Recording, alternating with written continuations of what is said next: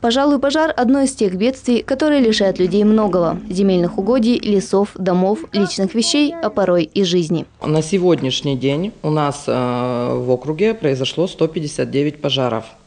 На пожарах погибло уже 9 человек, из них один ребенок.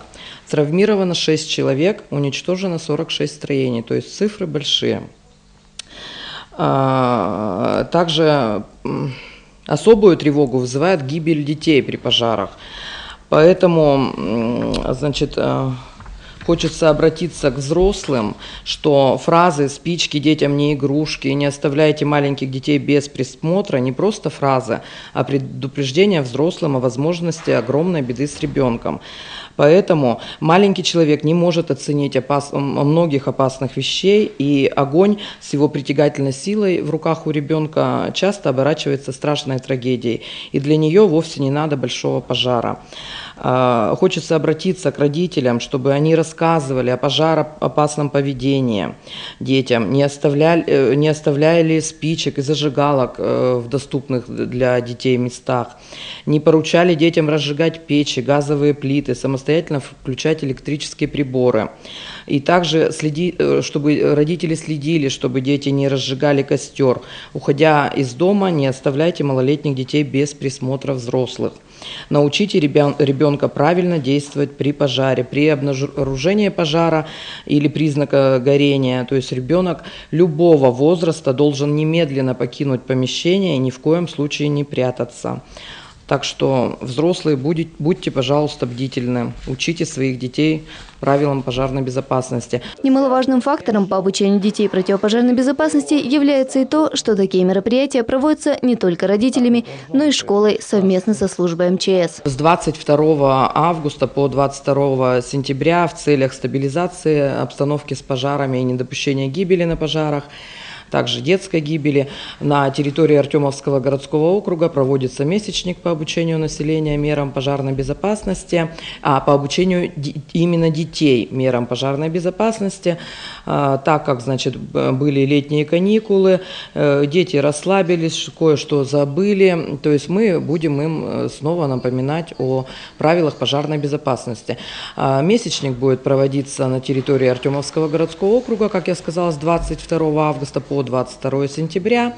Будет он проводиться совместно с ГИБДД, совместно с э, ВДПО, совместно с гражданской защитой.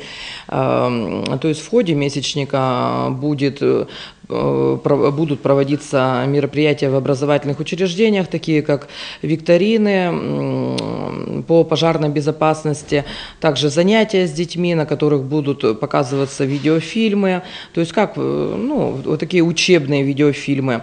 А также, значит, э, будет проводиться экскурсии в пожарные части, то есть это Буланаш и наша городская вот 59-я пожарная часть. То есть на экскурсиях также будут э, доводиться до них элементарные требования соблюдения правил пожарной безопасности, будут показываться автомобили.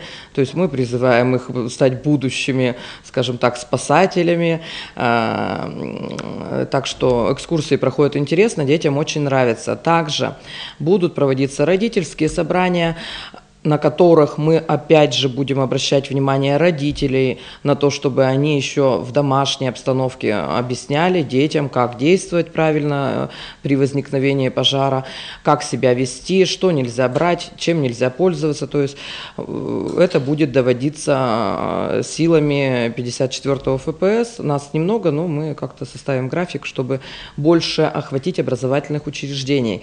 Также проводится рейды по неблагополучным семьям с комиссией по делам несовершеннолетних и семьям, где дети не посещают учебные заведения. То есть работа большая, поэтому совместно мы будем ее осуществлять. Я думаю, что результаты ну, результаты будут. Зачастую пожары случаются по вине именно взрослых, не желающих и игнорирующих элементарные правила, направленные на невозникновение пожароопасной обстановки. Об этих правилах приходится нередко напоминать. Скоро уже будут холода, да, сентябрь-октябрь, то есть опять хочется обратить внимание на то, что, значит, люди будут пользоваться э, обогревательными приборами и э, печи. То есть хочется обратить внимание, что э, чтобы при, э, ну, как бы соблюдали правила пожарной безопасности при пользовании печью. Печь должна быть побелена, притопочный лист должен быть 50 на 70 размером, э, складирование не должно быть там отходов каких-то и дров рядом, белье не сушится.